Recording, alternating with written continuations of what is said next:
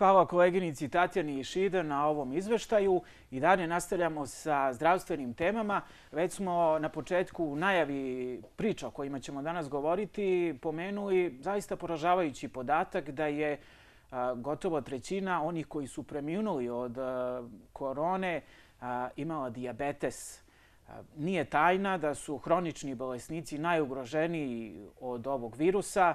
Više o tome saznaćemo od profesora doktora Slobodana Antića sa Medicinskog fakulteta u Nišu. On je endokrinolog i najpozvanije da pričamo upravo o ovome. Profesore Antiću, dobrodošli u emisiju Srbija Online. Hvala na pozivu.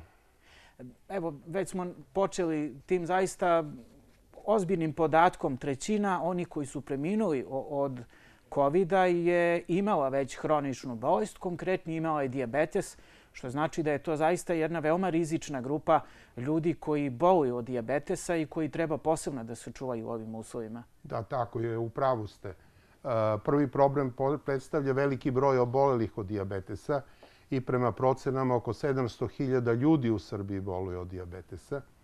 Poznato je da oni imaju veći rizik od komplikacija COVID-a ukoliko se razbole od COVID-a nešto veći rizik kod oboljevanja od COVID-a mhm. ukoliko, ukoliko, ukoliko nisu, ukoliko nisu, nisu dobro, dobro regulisani.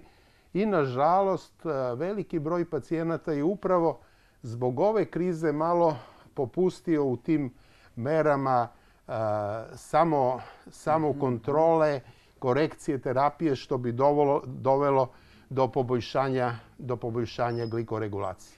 Kod, kod oni koji boli od diabetesa, ta neka disciplina, samo disciplina je posebno važna i u normalnim uslovima. Prepostavljam da je to sada višestruko uvećano, odnosno su potrebne mnogo veće mere opreza.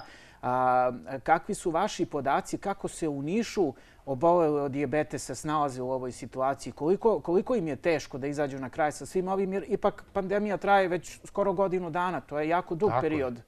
Tako je. Objektivno situacija je vrlo teška. Situacija je vrlo teška za sve obolele.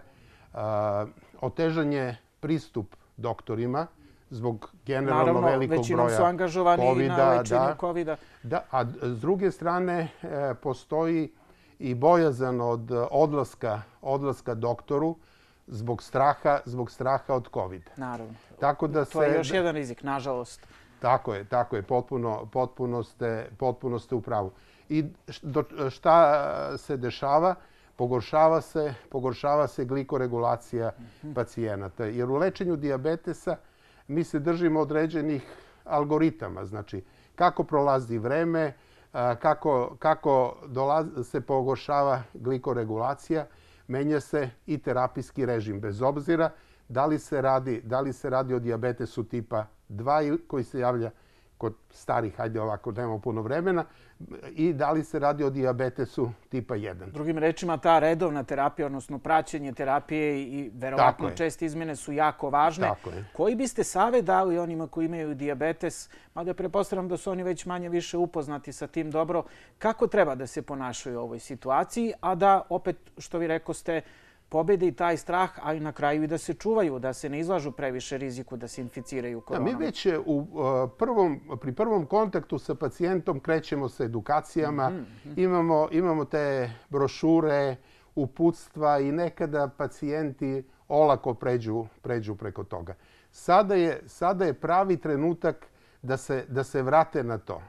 Da, da učine sve što, je, sve, što je, sve što je do njih i da nađu neki bezbedan način da, da dođu do, do, do doktora, doktora, idealno bi bilo svog doktora, doktora endokrinologa, doktora, doktora u dispanzeru. mi smo pokušali i na nacionalnom nivou, na nacionalnom nivou da obezbedimo pacijentima neku mogućnost kontakta upravo zbog tih saveta. Neku vrstu I to je sada, online savjetovališta. A dobro, u skladu sa modernim vremenom. Tako je, tako je. I to je, i to je u proceduri. Mhm. Znači, suština opet, ono što želo bi da apelujem na pacijente, da se podsete svega toga i da se sete svih onih stvari o kojima smo im govorili. Ona prva, da, da e, hemoglobin A1C treba da bude ispod ispod 7% za većinu bolesnika. Naravno, naravno postoji tu individualizacija od toga o kakvom obliku bolesti se radi.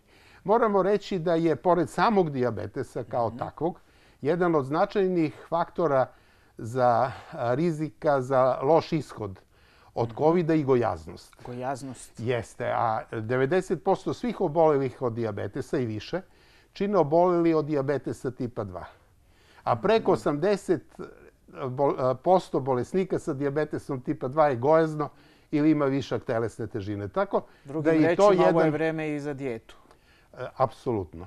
Apsolutno. Znači, e, češća kontrola, znatno češća, ovde pre svega samo kontrola, većina naših bolesnika ima glukometre, ima trake za samo kontrolu šećera, da urade sve šta je do njih i da iznađu bezbedan način po potrebi da dođu, da dođu do doktora. Medicina stalno napreduje srećom. Mnogi su se iznenadili primjera radi da je praktično prva vakcina protiv korone pronađena u izuzetno kratkom roku u odnosu na ranije neke vakcine za neka druga oboljenja. Prosto je ljudima bilo čak i neverice da li je moguće tako brzo, ali je moguće s razvojem medicine. Prepostavljam da se medicina brzo razvija i u oblasti koju se vi bavite, u endokrinologiji i da stalno imamo napredak i bolje i savremenije i efikasnije metode u lečenju diabetesa. E, tako je, da su regularne okolnosti, mi bismo znate o čemu pričali sada. O 100 godina od otkrića insulina. I kako je napredovala terapija, e, kako je napredovala terapija, šta, e, e, šta se dešavalo umeđu vremenu sa bezbroj div, argumentovanih argumentovanih činjenica. Dosta je napredovala diabetologija u posljednje vreme. Globalno, jedan od značajnih napredaka je upravo ta individualizacija terapije. Druga stvar je e, bubreg i srce u diabetesu. Znači, sada se mnogo više pažnje posvećuje tome. Znači, mhm. postoje lekovi koji, koji direktno smanjuju rizik od kardiovaskularnih bolesti, aterosklerotične bolesti, srčane insuficijencije i bubrega u obolih od diabetesa. I to su lekovi koji se koriste i za lečenje diabetesa. Jesu oni dostupni kod nas oni u Srbiji? Su, oni su u dobroj meri dostupni, znači većina. Mm -hmm. većina, je, većina je dostupna. I e, stvar je u tome da, da je regulacija glikemije njihov sekundarni efekt. To se vremenom pokazalo. Primarni efekt je dejstvo, dejstvo na srci i na bubregi. Kod onih kod kojih indikovano, koji već imaju, koji već imaju neko oboljenje. I čak i ukoliko su oni dobro regulisani, a nisu na tim, na tim lekovima, već su samo na metforminu kojim se obično počinje terapija, bez obzira na dobru glikoregulaciju, po potrebi se, po potrebi se uključuju, uključuju ovi lekovi. Po pravilu oni koji... E, da, GLP-1 receptor agonisti i SGLT2 inhibitori. To su grupe lekova. Moramo tako da... Dobro, da, stručni termine moramo da upotrebimo. Po pravilu oni koji su bolesni od diabetesa su i jako disciplinovani. Prosto je priroda bolesti takva da moraju to da rade.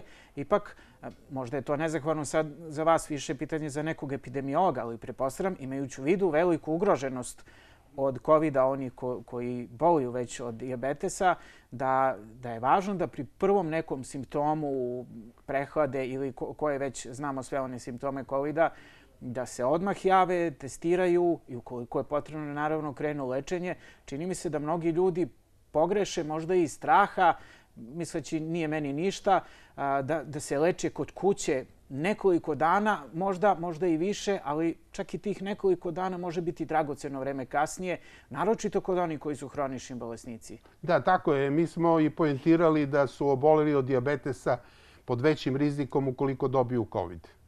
A, a, tako da oni moraju da povlače adekvatne poteze u pravo vreme. Znači, oni trebaju odmah da se jave doktoru, a, nema, nema čekanja, posebno ukoliko, ukoliko to ne krene tako kako bi trebalo i time će, time će značajno da se utiče na tog bolesti. Naravno, najbolja, najbolja prevencija COVID-a je vakcinacija. Znači, oboleli od diabetesa treba da se vakcinišu. Je prepostavljam da su oni sada u toj nekoj grupi koja ima prednost pri U jednoj, da, da, u jednoj, u jednoj od, od grupa. u jednoj od grupa i posebno, kažem, oni koji imaju diabetes i već imaju neku od komplikacija, od komplikacija diabetesa. Koliko je kod onih koji imaju diabetes, znamo da je to bolest sa kojim se živi godinama, koliko je život teži u odnosu na ljude koji nemaju takav zdravstveni problem? Znate kako, postoje različiti oblici, oblici diabetesa. Mhm. I od toga zavisi koliko je potrebno pažnje da bi se postigao cilj u lečenju, u lečenju diabetesa. To je, to je taj čuveni hemoglobin A1C. To su ti profili glikemije koji se koji se rade i kod kuće i nešto što se sada zove time in range, koliko vremena dnevno pacijenti provode u toj dobroj, dobroj glikoregulaciji. I to je vrlo bitno. Znači ima tu novih lekova, nemamo nažalost vremena da pričamo o tome, možda nekom drugom prilikom, nešto što je nešto što je vrlo interesantno i što će mnogo pomoći pacijentima, ali da se nekako rešimo ovo COVID. Moja baka je znala da govori svako zlo za neko dobro. Da ne budemo sad toliko pesimistični, možda malo i da utašimo one koji, koji boje od diabetesa. Prepostavljam da oni imaju na neki način u svom tom lošem što im se desilo zdravstvenim, sa zdravstvenim problemom, da imaju neku prednost u smislu da zbog prirode diabetesa oni idu redovno kod lekara, redovno se kontrolišu, redovno se testiraju i veća je šansa da će naći na eventualno neki novi zdravstveni problem koji bi se pojavio u odnosu na nas ostale koji se smatramo zdravima, nije nam ništa. E, možda i dobijemo neki simptom nečega, ne znam, preseca me srce ili nešto, pa ja to zanemarim, ne odem kod lekara. Kod oni koji boli od diabetesa, čini mi se su dosta disciplinovaniji i da je to možda njihova prednost u smislu te neke prevencije za druge zdravstvene probleme. Da, mi, mi to govorimo svim bolesnicima, to govorimo zbog toga mhm. što je istina. Oboleli od diabetesa nisu uopšte inferiorni ni u kom pogledu u odnosu na svoje vršnjake koji nemaju diabetes. Jedino što moraju veći deo vremena da posvećuju sebi. Da posvećuju sebi svojoj bolesti, prevenciji komplikacija. Ako oni to rade, oni će da dožive staro svojih savremenika i mogu imati vrlo, vrlo kvalitetan život. Tako je. Kažu da je u svakoj oblasti medicine prevencija i rano otkrivanje bolesti najvažnije. Šta sa onima koji ne znaju da imaju diabetes? Koji su to simptomi koji bi mogli da ukažu? Da li postoje? Sigurno, to su ti klasični, klasični simptomi diabetesa sušenje ustiju, pojačano žeđanje, učestalo, učestalo mokrenje. Kod u diabetesu tipa 1 bolest brzo progredira, lako se diagnostikuje. Ali smo rekli da preko 90% obolih od diabetesa čine obolili od diabetesa tipa 2. Mhm. I kod njih e, diabetes može dosta dugo ići potpuno, potpuno asimptomatski. Tako je, mi to zovemo podmukli podmukli početak bolesti. To je u stvari najveća opasnost, verovatno. Pa jeste. E, postoje te rizične grupe koje bi trebale, koje bi trebale da kontrolišu svoje, svoje glikemije da bi rano otkrili, da bi rano Pomenuli smo malo pre gojazne osobe. Prepoznam da su oni u rizičnoj grupi. Ko još? Tako je. Gojazne osobe, stari osobe, već, već od 40 godina osobe, big babies made što mi zovemo, to su žene koje su rađale krupnu decu preko 4 mm. kg, žene koje su imale taj gestacijski diabetes u trudnoći, svi oni koji su nekada imali imali povišene povišene glikemije, osobe koje imaju bliske srodnike sa sa diabetesom, sa diabetesom, genetska tako tako je, genetska predispozicija, ali ono što sigurno možemo da učinimo i što je najdelotvornije i u prevenciji i u lečenju diabetesa, to je promjena stila života, promjena, promjena navika, dijeta, fizička aktivnost, čak i u ovakvim uslovima. Znači, fizička aktivnost može da bude da bude vrlo bezbedna. Čak Šta je sa slatkišima? Ja pitam, najzainteresovaniji sam tu. Da, slatkiši sigurno, sigurno nisu, nisu preporuka. Sokovi, Coca-Cola, to je nešto što pospešuje nastanak diabetesa u ovim rizičnim kategorijama. To za slatkiše mi se nije svidelo što sam čuo, ali bolje da nam kažete, da nas upozorite na vreme. Profesore Antiću, hvala vam na vremenu koje ste izdvojili za nas i na ovim važnim informacijama koje ste nam rekli. Nadamo se da će nekome biti korisne koje čuo i za ove simptome i za lečenje. Ima, ako imam minut samo, mhm, ima vrlo interesantnih eh, napredaka u tretmanu obolelih u diabetesu, o čemu ne možemo da govorimo. To je taj CGM, eh, kontinuirani glikozni monitoring, eh, novi, novi lekovi koji su, se, koji su se pojavili kod nas. Puno toga, tako da Biće prilike, biće prilike da ponovo gostujete. Hvala, hvala još jednom. Hvala vama. Ovo je bio naš prvi gost u emisiji Srbija Online, profesor dr. Slobodan Antić, endokrinolog sa Medicinskog fakulteta u Nišu. Posle kraće pauze vratit ćemo se u naš studio i nadam se da ćemo imati vezu sa Sjedinjenim američkim državama, odnosno sa našim saradnikom tamo, tamo Aleksandrom Đikićem, koji će nam izneti neke zanimljive informacije i neke zanimljive vesti koje imamo za vas, a u vezi su sa našim programom.